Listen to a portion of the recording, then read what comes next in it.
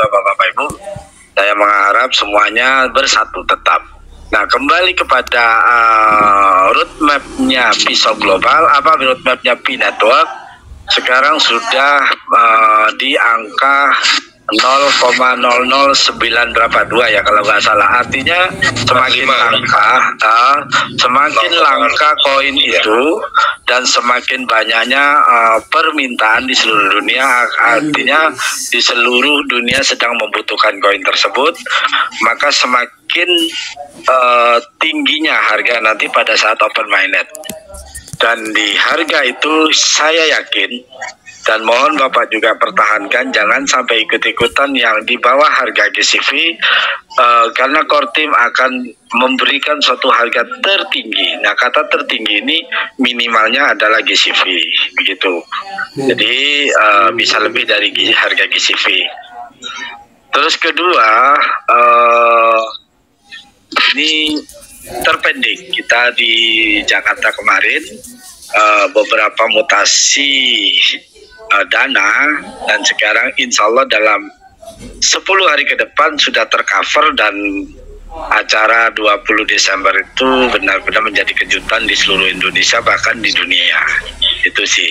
Nah untuk perkembangan perusahaan sudah mungkin teman-teman sudah sering dikembangkan atau diinformasikan sangat-sangat sudah bagus pisau global dan sudah mulai kompak. Cuman satu poin saya pesan saya Mari semuanya baik itu manajemen, baik itu perwakilan, baik itu para direksi, kita bekerja dengan hati. Pertama jujur, pertama kedua adalah transparan. Dan juga tidak ada yang namanya mengkhianati perusahaan itu sendiri. Itu satu. Apalagi sampai menjadi satu uh, fitnah pada orang lain.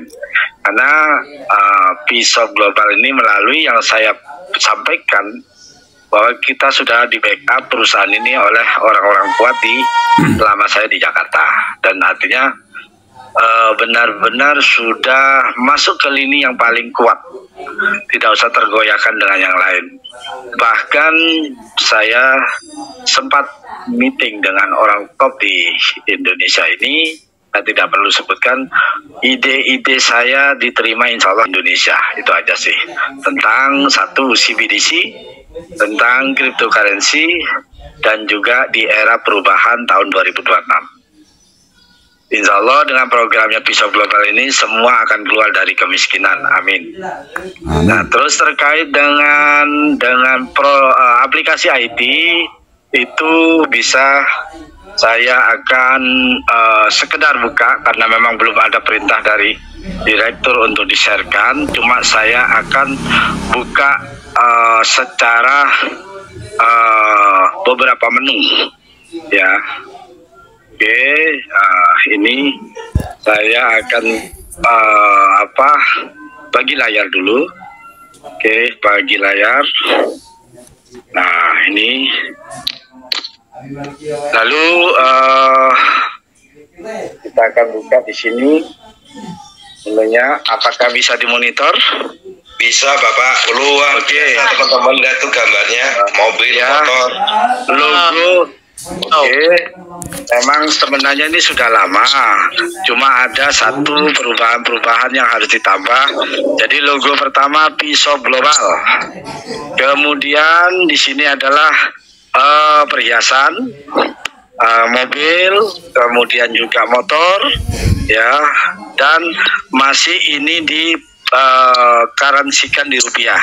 Kenapa? Karena memang di Indonesia tidak boleh ada harga di luar rupiah. Tetapi begitu sudah masuk di brainstorm nanti uh, sudah ada dua harga yaitu rupiah dan pi, uh, harga pi dengan harga satu pi harga 314159. Nah, contohnya di sini kita lihat uh, kategori. Ya, ini bisa dimonitor. Bisa, Pak. Oke. Okay. Ada mobil. Maka kategori mobil ya bisa dilihat ya. Nah ini ada semua sebagai foundernya atau distributornya PT Pisau Global, uh, PT ya, PT Pisau Global. Contoh Honda Civic tipe R 6 MT harga sekian sekian sekian. Nah ini uh, nanti sedang diralat juga harga saya sesuai real time. Kemudian ada uh, Honda City hatchback RS CVT 374 600 rup, uh, juta jadi 374 juta begitu. Ini kategori mobil masih banyak ya bisa dimonitor ya. Bisa, bisa dilihat ya. Oke, okay. jadi jangan ragu tentang IT. Oke. Okay. Uh, eh, kemudian di set kedua masih saya lihat di layar kedua ini ada mobil jenis uh, Fortuner ada sejenis mobil lagi uh, Pajero Sport harganya 735 600 Asik. Ya, ada ini semua. Jadi tidak ada bohong ya. Jadi kalau ada bilang bohong itu perlu diklarifikasi. Sekarang kategori motor. Nah, ini kategori motor bisa dimonitor gambarnya ada Honda Anda ya jelas Oke, okay. ya ini ada motor uh, laki, ada motor perempuan, motor sport, ya semua sudah masuk, ya ini. Nah, ini sedang dikerjakan semua dan uh, masih banyak lagi uh, Bentar kita lihat dulu uh, kategori handphone ya. Oke, ini boleh dilihat bisa? Ada handphone Reno. Oke, 5G, 5 juta 900. Kemudian Oppo Find N2 Flip yang terbaru, 14 juta 900 dalam rupiah lah ya. Ini karena di aplikasi Play Store-nya ini. Kemudian merek-merek lain ya masih banyak ini. Nah, kemudian yang lain lagi sedang dibuka lagi. Oh masih ada yang belum diupload lagi masih ada di server. Artinya sudah semua ya. Kemudian cara belanjanya pun kita bisa lihat di sini ada keranjang belanja. Jadi tidak bisa kita itu uh, tidak e-commerce. Jadi bisnis pisau global itu e-commerce seperti Shopee, seperti Lazada. Ya. Kemudian sistem pembayaran. Sistem pembayarannya pun bisa dengan tunai atau COD, bisa dengan barter, dengan koin pay.